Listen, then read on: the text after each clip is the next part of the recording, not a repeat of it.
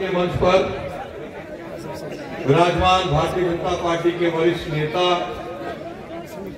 अलवर निगम आपके बीच में कमल का फूल लेकर के दोबारा भेजा है ऐसे मेरे बड़े भाई आदरणीय रामेद यादव जी। इस मंच पर विराजमान हमारे किशनगढ़ की चेयरमैन आदरणीय तारामणि सिंघल साहब खैरतल के चेयरमैन साहब आदरणीय हरीश रोगा जी आदरणीय सुशीला यादव जी खैरतल के पूर्व चेयरमैन आदरणीय अशोक डाटा जी मंच पर विराजमान हमारे पार्टी के सभी वरिष्ठ नेतागण, इस सभा में उपस्थित पूजा के योग मेरे बुज़ुर्गों, युवा साथियों, मातृशक्ति। कोसली से पधारे हमारे विधायक आदरणीय लक्ष्मण यादव जी। सबसे पहले तो मैं आप सबकी ओर से। और विशेष रूप से आप सबको बहुत बहुत बधाई और बहुत बहुत धन्यवाद देना चाहूँगा कि आपकी आवाज़ पर,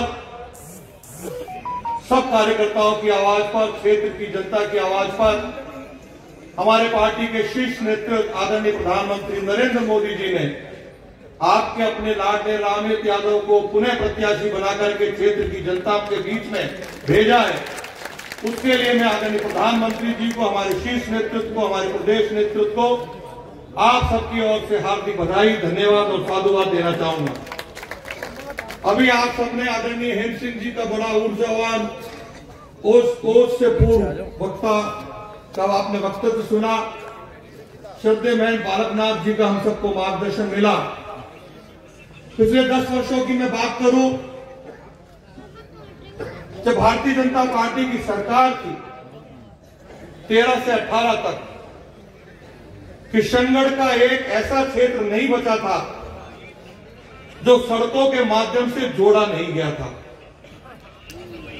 और हकीकत में कंपटीशन थानागाजी और किशनगढ़ में हुआ करता था। दोनों के बीच में कंपटीशन इस बात का होता था कि किस क्षेत्र का ज़्यादा विकास हो। चाहे स्कूलों की बात हो, चाहे अस्पताल की बात हो, चाहे पानी की बात हो एक एक बात को विधानसभा में उठाना और विधानसभा में उठाने के बाद उस काम का पीछा करना और पीछा करने के बाद उस काम को कराना, वो यदि किसी कार्यकर्ता में, किसी राजनीतिक नेता में खूबी है तो आपके अपने लाडले रामेश यादव के अंदर है। यदि मैं कार्यकर्ताओं की बात करूँ तो कार्यकर्ता के ऊपर कभी भी कोई संकट आया हो। क्योंकि राजनीतिक लड़ाई, राजनीति की शुरुआत एक कार्यकर्ता के नाते की थी।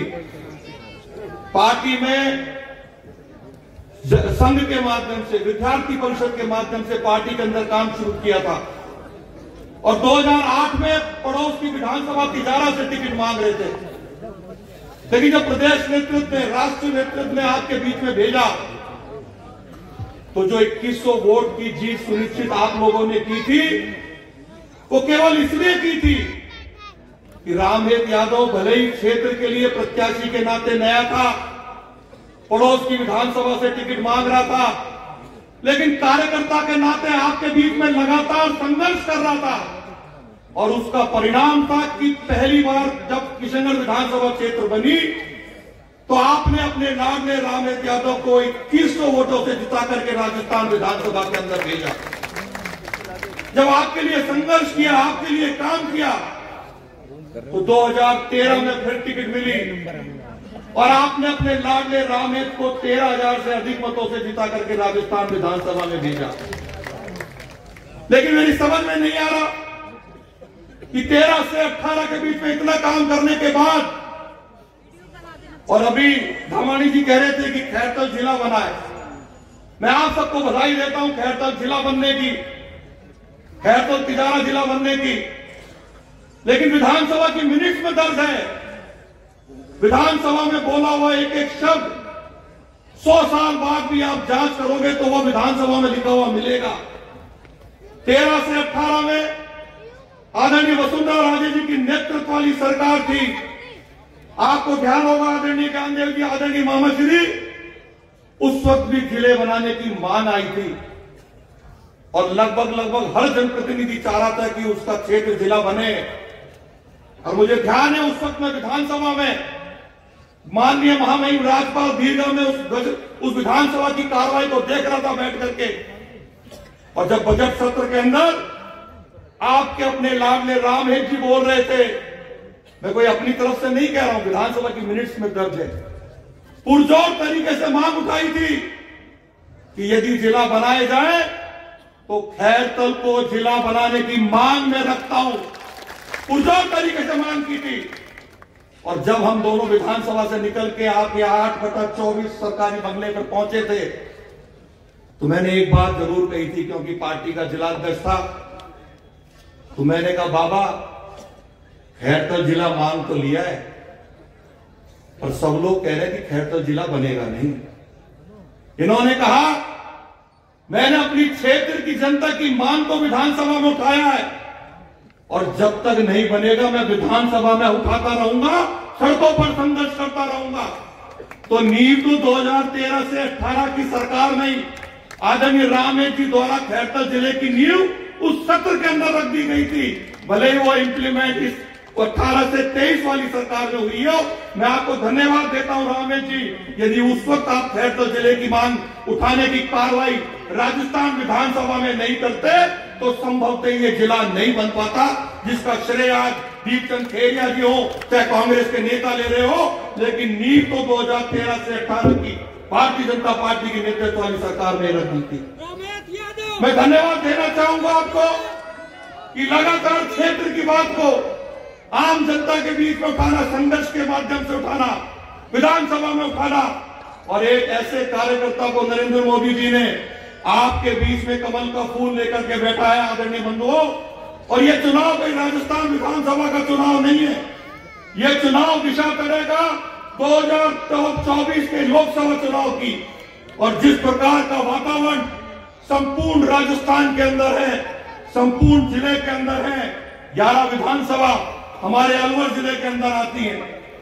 ग्यारह की ग्यारह विधानसभाओं पर कमल का फूल खिलने जा रहा है। अब तो होड़ इस बात की है, किस विधानसभा क्षेत्र से वो कमल का फूल कितने अधिक मतों से जीत के जाता है?